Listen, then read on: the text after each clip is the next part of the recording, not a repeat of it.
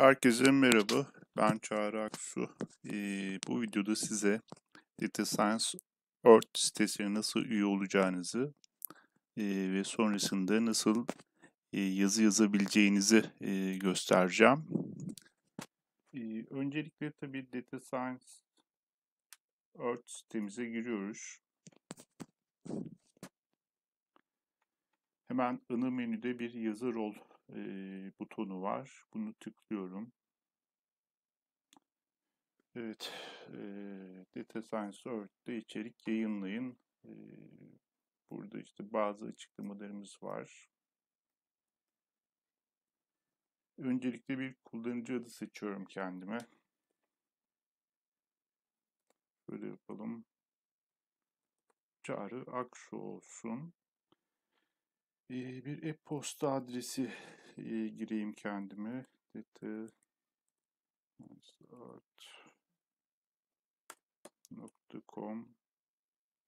Adım Çağrı. Şöyle güzel yazalım. Yakışıklı olsun. Aksu ve kendime bir şifre e, belirliyorum. Bunu da şimdilik ben şöyle yapayım. 1, 2, 3, 4, 5, 6 şeklinde girelim. E, burada kendi bir internet siteniz varsa e, onu yazabilirsiniz. Tabii bir üyelik sözleşmemiz var arkadaşlar. E, bu sitede yayınlanan e, yazılardan dolayı kanuni bir yaptırıma e, düşmemek için burada tabii sizin de dikkat etmeniz gereken şeyler de burada yazılı. Bunu lütfen okuyun biraz uzun gibi görünüyor olabilir ama sizin yazacağınız yazılarda dikkat etmeniz gereken şeyler burada yazıyor. okudum, işaretliyorum, kayıt ol diyorum. Evet, üyelik kaydınız başarıyla oluşturuldu. Bakın şurada mesela profilime gideyim. Benim WordPress tabi e, Data Science Earth e, sitesi bir WordPress sitesi. Şuradan dil seçimi yapabiliyorum. E, varsayıldığını zannediyorum. Türkçe burada. E, şurada Twitter adresimi, Facebook ya da diğer e, işte YouTube'da bir kanalım varsa onu girebiliyorum. Google'la alakalı bir şey varsa şuraya Türkçe ve İngilizce olarak biyografinize e, girebilirsiniz. E, şuradan da işte biliyorsunuz Gavatar'dan da e, şey yapabiliyorsunuz. Yani buraya e, üye olup e, kendi resminizi ekleyebiliyorsunuz. Ben şimdilik burada bir şey yapmayacağım. E, hemen yazılara geliyorum. Burada tabii daha evvel yayınlanmış yazılar var. Zamanlanmış olanlar, taslaklar, kontrol bekleyenler. Ben şimdi yeni bir yazı yazacağım. Yeni ekle e, tıklıyorum burada. Öncelikle e, tabii önemli olan yazının başlığı. Ben mesela şey diyeyim. Veri bilimi nedir? Başlık olarak bunu e, seçtim. yazım yazarken arkadaşlar tabii olabildiğince e, dil bilgisi kurallarına uymam gerekiyor. E, çünkü bu yazı e, şimdi yayınlandıktan sonra beni temsil edecek. Şimdi bu yazıyı ben yayınladıktan sonra belki e, şöyle düşünün. iki sene sonra bir iş başvurusunda bulundunuz. İşte Google'dan adınızı search ettiler. Tak bu yazı karşına çıkar e, arayanın çok büyük ihtimalle. Dolayısıyla bu orada sizin işe alınıp alınmayacağınızı bile belirleyebilir. Günümüzde biliyorsunuz işe alım proseslerinde sosyal medya hesapları, yazılar, aktiviteler oldukça önemli. Şimdi ben buraya örnek olarak bir iki cümle yazayım. Mesela şey diyelim. veri bilimi çok disiplin disiplinli bakın şurada hemen bir yanlışım var. Sağ tıklıyorum. Düzeltiyorum. Bir her bütünü düz. Bakın burada da bir yanlışım var. Bakıyorum. Tabi burada her zaman bütün e, doğru olasılıkları göstermiyor. Bakıyorum bütünüdür. E, tabi burada şöyle bir durum da var. Şimdi biz onu atladık ama şurada bir e, başlığımı tekrar yazabilirim ya da burada veri biliminin ne olduğunu öğrenelim diye başka bir başlık koyabilirim. Bunun başlık olduğunu da e, belirlemem gerekiyor. Bakın şurada başlık bir yani benim ana başlığım. E, içerisinde şey diyelim mesela istatistik değil mi? Sonra virgül e, matematik diyelim.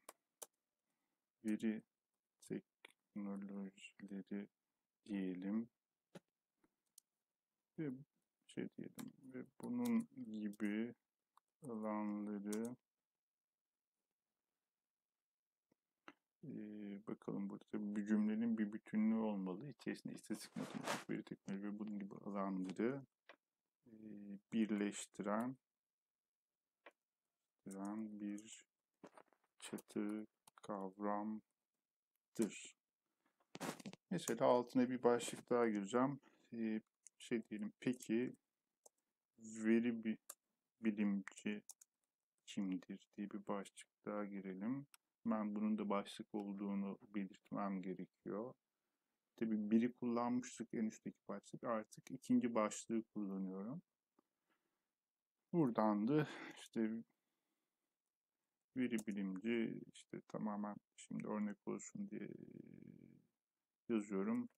Veri bilimi takımının üyesidir nokta tabi ee, burada dil bilgisi kurallarına olabildiğince uyuyorum. Ee, sonrasında tabi arkadaşlar ben e, yazımı girdim farz edin tamamladım. Bunun e, tabii bir de SEO tarafı var. Hemen aşağı iniyorum. Şuradan veri bilimi nedir başlığımı görüyorum. Burada istersem bu başlığı değiştirebilirim. Hani bu SEO tarafı bildiğiniz gibi arkadaşlar arama motorlarında arandığında o listede e, nasıl görüneceğini e, ortaya koyuyor. Bakın şurada da zaten nasıl göründüğünü görebiliyoruz. Mesela şuraya yazıyorum. Bir açıklama yazacağım. Bu açıklama işte orada siz bu e, sıralamada bu yazıyı gördüğünüz zaman insanların tıklayıp içeri girmesini sağlayacak bir yazı olmalı. Şey diyelim. E, bu yazımızda veri bilimin ne olduğunu detaylı bir şekilde anlattık. Burada tabi bakın şurada da bir şey var yazın. Ee, burada tabi bir karakter sınırı var. Bakın şurada 160 karakter. Bunun fazlası şeyde görünmüyor. Ee, yazarsanız da mesela şöyle bir dolduralım. Bakın bir noktadan sonra Burada görüyoruz ama bu arama motorunda çıktığı zaman e, görünmüyor. Şurada bir uyarı var. 108 karakter oldu. Bunun diyor bu kadar olmaması lazımdı. Birisini siliyorum. İşte 160 karakterde sınırlıyorum. Tabi e, burada anahtar kelimeler önemli benim için.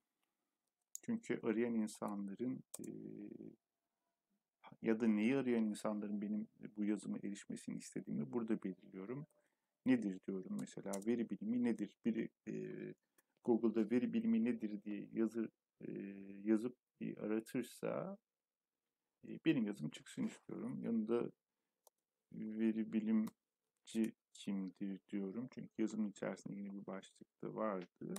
Burada böyle ilgili şeyleri e, sıralıyorum arkadaşlar.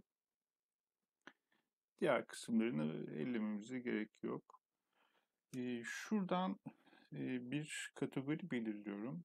yazım neyle alakalı? Benim yazım veri bilimle alakalıydı. Şuradan bakıyorum.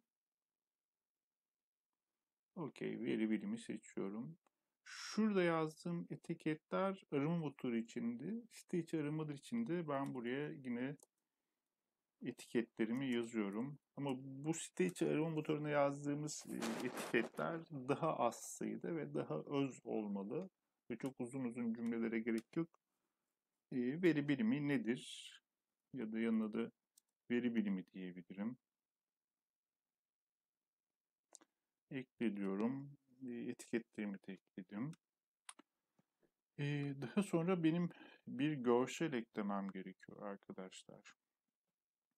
Şimdi bakın e, burada tabii daha evvel eklediğiniz bir görsel olmadığı için burada göremiyorsunuz. Benim bu yazıyı e, sosyal medyada yayınladığımda biliyorsunuz işte resimlerle birlikte çıkıyorlar. E, orada e, hemen ona da bir bakalım nasıl olduğunu da görelim bir. Şöyle linkitine girelim. Ha, mesela işte şuradan Data Science World e, sayfasına bakalım. Heh, biz burada yayınladığımızda bakın şurada çıkan resimler. Şurada görünen resim bizim için çok önemli. İnsanların bu yazının içerisine e, girip girmeyeceğini belirliyor. O yüzden e, güzel bir e, görsel seçmem gerekiyor ya da üretmem gerekiyor. Bunun için arkadaşlar çok çeşitli siteler var. Ben canva.com'u kullanıyorum. Buradan e, bakıyorum e, uygun bir e, boyut e, bulacağım. Bu genelde şu oluyor. E, blok reklam bandı diye bir şey var burada ama diğerleri de olabilir. İşte oradaki boyutu tutturduğunuz sürece çok problem yok. Bakalım burada bir yerde olması lazım. Blok, heh, blok reklam bandı. Mesela işte seçiyorum buradan. Bakıyorum bu güzel bir isimmiş. Buna işte ee, ne yapıyorum? Mesela ee, şuradan yük, daha evvel yüklediğim şeylerden mesela Data Science Earth'ün iki tane geldi benim logosunu koyuyorum mesela. İşte logo tabii çok büyük olmaması lazım. Sonuçta şuraya bir yere attım mesela. Daha sonra arkadaşlar bir metin ekleyeceğim. Ama daha evvelinde yine data sign Earth'ün yine şeyini ekliyorum. Biliyorsunuz Data Science Earth yazdığınız zaman biz çıkıyoruz. Bunun da rengini beyaz yapayım mesela. Okey. Güzel oldu. İşte sonra alıyorum bu metinlerden e, mesela işte şöyle bir hem adım yazacağım hem konuyu yazacağım. Belki bir de açıklama yazacağım. Mesela şöyle bir metin mesela şurada bir yerde. Şu an ben tasarımı çok şey yapamıyorum ama siz tasarım kısmına da ayrıca bakarsınız. Mesela şuraya adım yazayım. Çağrı Aksu. Bunu biraz büyütelim sanki. İsmim biraz daha büyük görünsün. e, konum neydi? Veri bilimi nedir? Hemen şuraya da işte bir yazımdan aldığım böyle bir ufak e, şeyi ekleyebilirim. Mesela şurada şöyle bir şey yazmışım. Benim e, insanları e, çekmesini istediğim kısım bu. İnsanlar bunu okuyunca Aa, merak edecekler, yazımın içine girecekler diye düşünüyorum. Şunu böyle biraz daha e, büyüteyim. Okey. Mesela bunu rengini falan değiştirebiliriz. Boyutunu değiştirebiliriz ya da şuradan e, font şeyini bu çok büyük oldu. Şu muydu? Tabii bunun e, yazılarında tabii okunabiliyor olması lazım. Mesela burada okunmuyor. Acaba şunu beyaz yapsam daha mı görünür olur? Evet, sanki daha böyle bir tık görünür oldu sanki. Şunu biraz şöyle şey yapayım. Heh, şöyle biraz şöyle tutup nereden tutuyoruz? Ha, şöyle biraz kenara atayım mesela. İşte bu tip durumlarda tabii e, şöyle olması daha iyi. Böyle ortaya doğru toplamanız daha iyi. Çünkü bazen farklı boyutlarda işte resimler yayınlanırken bir tarafları kesilebiliyor. Mesela işte şurası mesela şuradan itibaren mesela işte bu renk siyah olabilir. Görünürlük artar sanki. Yani ya da hepsi de siyah da olabilirmiş. Şimdi şöyle bir şey yapalım. Okey. Ya da işte şuraları farklı renkler yapabilirsiniz. İşte adım var, konu başlığı var, ne olduğu yazıyor. İşte Data Science Ort'un e, şeysi var, e, adı var, logosu var. Daha sonra bunu indiriyorsunuz arkadaşlar. Bakın şurada PNG olarak diyor zaten. İndir diyorum. Ha, evet şuradan indi mesela. Şimdi geliyorum tekrar yazıma. Şu aşağı taraftan öne çıkan görseli belirle diyorum. Dosya seç diyorum. Buradan indirilenler arasında olmalı büyük bir ihtimal. Ha, şu. Şimdi bu e, yüklendikten sonra da tabii arkadaşlar e, burada bazı düzenlemeler yapmam gerekiyor. Çünkü bu görseller de bildiğiniz üzere Google ya da Yandex'in arama motorlarında görseller kısmında görünüyorlar. Orada da arama yapılabiliyor. Dolayısıyla burada benim e, görselinde ne olduğunu anlatmam lazım. Bakın şuradaki başlığı değiştiriyorum. Mesela veri bilimi nedir diyorum. Şurada bir açıklama yapıyorum.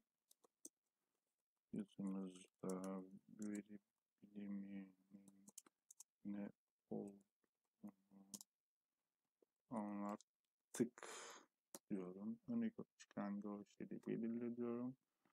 Ee, görselim geldi arkadaşlar. Ee,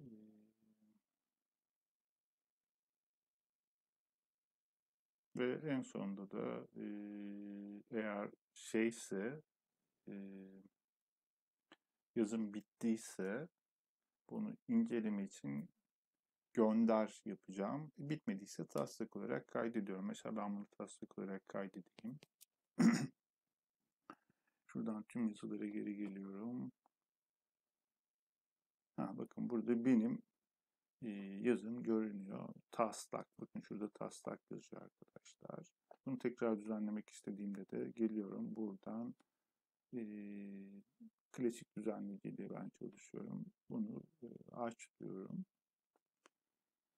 E, daha sonra istersem yine burada yazımın içerisine de bazı e, resimler, linkler, YouTube videoları vesaire ekleyebiliyorum. Mesela buraya bir dosyada e, şey yapayım ben.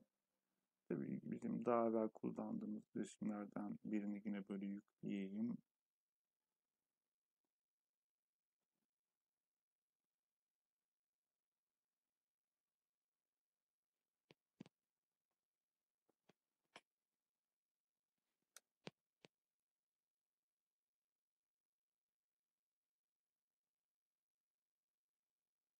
Yani şuraya da şey diyorum işte makine öğrensak makine öğrenmesi için e, ona da şey dedim işte makine öğrenmesi pardon ha, yeni geldi pardon. Makine öğren, öğrenmesi nedir diyelim. Buna da şey diyelim bu görsel bilimi nedir yazısı içerisindeki makine öğrenmesi nedir başlığı içindir diyelim. Tabii şimdi böyle biraz aklıma gelen şeyleri yazıyorum. Resim bu şekilde eklendi arkadaşlar. Şunu biraz büyüteyim ben şöyle kulağımdan bakın şuradan çekip büyütebiliyorum. Şuradan sağ mı hizalanacak, sola mı hizalanacak ya da yazıların arasında mı görünsün Ya da şuradan düzenleyip tıkladığımda tekrar buraya gelebiliyorum. Bir alt yazı falan ekleyeceksem ekleyebiliyorum. Bir bağlantı vesaire varsa buradan ekleyebiliyorum. Şimdi de onları ya YouTube'da tabii çok daha detaylı böyle WordPress videoları var. Onlara da bakarsınız. Ben şimdilik bu şekilde göstermiş olayım bunu. Daha sonra mesela işte yazıma bir şeyler daha ekleyeceğim. İşte makine içinin veri bilimi için önemi ya da şey diyelim veri bilimci için önemi e, diyelim. Bu da benim işte bakın şurada bilim bir H1 başlık biri kullanmıştım. Başka bir kullanmıştım. Bu da veri bilimci kimdir'in bir alt başlığı olduğu için e, bunu da başlık küçük kullanıyorum. Burada da işte makine öğrenmesi şudur, budur e, şeklinde yazımı yazıyorum. Şimdi mesela e, iki paragraf yapacaksam şöyle bir enter yapıyorum sonundan. Buraya da işte bazı şeyler yazabilirim. Hallettirme analizin hikayesini anlatmak bakımından oldukça önemlidir diyorum. Mesela burada bir yazı girmiş oldum. Biraz önce taslağı kaydetmiştim. Artık yazım hazır. Ee, gönderiyorum arkadaşlar yazımı. Bakalım yazılara bakalım. Bakın tüm yazılar şurada da kontrol bekleyen e, bakın onay bekliyor diyor. Şurada kontrol bekleyenleri tıklıyorum. Bakın burada iki tane şey varmış. Bir farklı bir arkadaşımızın yazısı var. Ve benim yazım var. Bu yazı sitemizin editörleri tarafından e, inceleniyor. Hem dil bilgisi olarak hem e, içerik olarak işte e, bir yazım yanlış olsun istemiyoruz yazı içerisinde ya da bilimsel bir yanlış olsun istemiyoruz. Bizim için çok önemli şeyler bunlar. Çünkü bu sitede yazılan yazıların belli bir standartta olması e, bizim genel topluluk olarak dışarıda yarattığımız algının gücünü çok etkiliyor. Şimdi burada bir yanlış bir yazı çıksa bunun şeyi işte e, ceremesini hepimiz birlikte çekiyoruz. O anlamda bizim için önemli yazıların hem dil bilgisi hem bilimsel içeriği ve tabii Arkadaşlar bir alıntı yaptıysanız e, bunu yazının sonunda referans olarak belirtmeniz lazım. Mesela ona da bir şey yapalım. Hemen şuradan tekrar düzenleye giriyorum. Mesela bu bir alıntı. Ben bu cümleyi birinden aldım. Şöyle bir bir yazıyorum. Şuraya geliyorum. Diyorum ki referanslar bir ee, işte bu cümleyi nereden aldım? Mesela işte www işte diyelim ki house.com altında şöyle bilimi nedir yazısından aldım mesela. Buraya bunu ekliyorum. İşte bir makaleden aldıysam makalenin adını, siteden aldıysam sitenin adını. E tabi yazarı da önemli. Buradan mesela işte kimden aldım? Çağrı Akşu'dan aldım. Bunu da ekliyorum.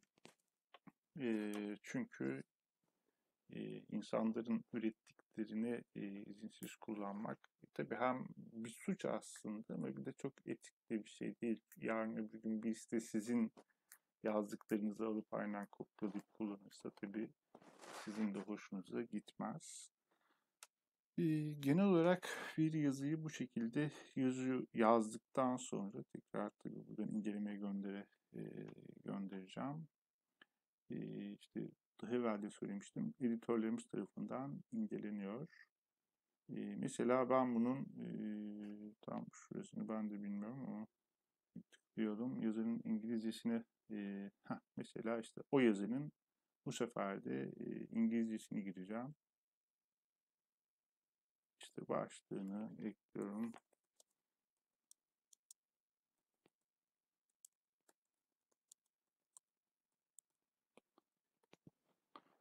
Ve işte biraz önce yazdığım yazının yine İngilizcesini buradan yazabiliyorum. Tabi burada da arkadaşlar şurada gördüğümüz yazı bunu da İngilizceye çevirmek gerekiyor. İşte şuradaki tagleri de İngilizceye çevirmek gerekiyor. Bakın şurada e, burada data science heh, burada da mesela biraz önce veri bilimi seçmiştim. Data science seçeceğim. Burada etiketler yine e, data, data science olacak ya da orada bir guide var ya da başka şeyler vardı ya da hmm,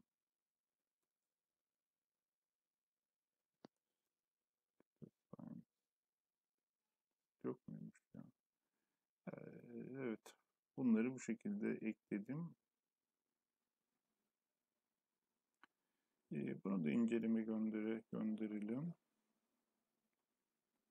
Şimdi şuradan bir bakalım arkadaşlar. Heh, bakın iki tane yazım var artık. Ee, şimdi bakın birinci yazımda Şimdi tabii bu ikinci yazının e, görselini de e, değiştirmemiz gerekiyor. Bu İngilizce olanı tabii biz buraya Türkçesini yazmıştık. Yine buradan gelip şuradaki yazıları İngilizceye çevirip indirip aynı şekilde e, yüklerseniz mesela şuradan kaldıralım. Tekrar oraya ben e, biraz önce yüklediğim şeylerden birini yine şuradan yani şunu yüklemiştik herhalde.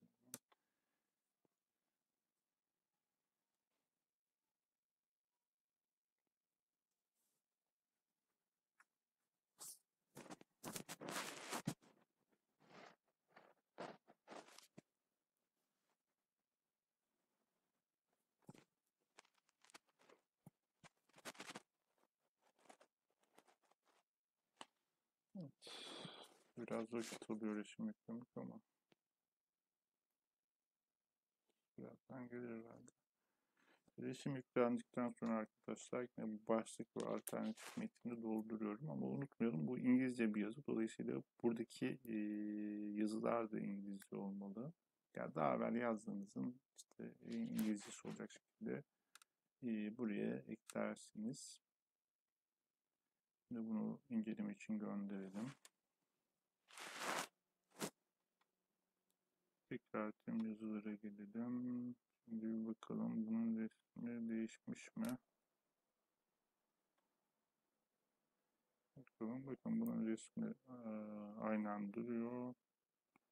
Tekrar diğerine de bir bakalım. Bunun resmi değişmiş mi? Resmi burada bu şekilde duruyor. Genel olarak bir yazı bu şekilde yazılıyor arkadaşlar. Biliyorsunuz sitemizde Türkçe ve İngilizce yazılar farklı yerlerde gösteriliyor. Şuradan İngilizce tıkladığım zaman işte İngilizce yazılmış yazılar var. E, tabii arkadaşlar sitemiz hem Türkiye'den okuyuculara sahip hem de işte çeşitli ülkelerden e, çeşitli e, coğrafyalardan okuyucularımız var. E, sitemiz bildiğiniz gibi Mart ayının ortalarında e, yayın hayatına başladı. Yani yaklaşık 4 ay falan oldu yayın hayatına başladı ama 300'e yakın yazımız var şu anda. E, yakın bir gelecekte de bini geçmeyi hedefliyoruz. E, tabii bu yazı sayıları yükseldikçe de bizim arama motorlarında çıkma, e, ön planda çıkma durumumuz artıyor. Yani yaklaşık işte 1-6 ay sonra falan çok büyük ihtimalle hem Türkiye'de hem de yurt dışında e, çok ziyaret edilen bir site olacak. Zaten Türkiye'de çok ziyaret edilen bir siteyiz de yani e, yurt dışında da bunu hedefliyoruz. O yüzden İngilizce yazı yazmanız bizim açımızdan e, önemli arkadaşlar. E, o zaman Herkese benim için teşekkür ediyorum arkadaşlar.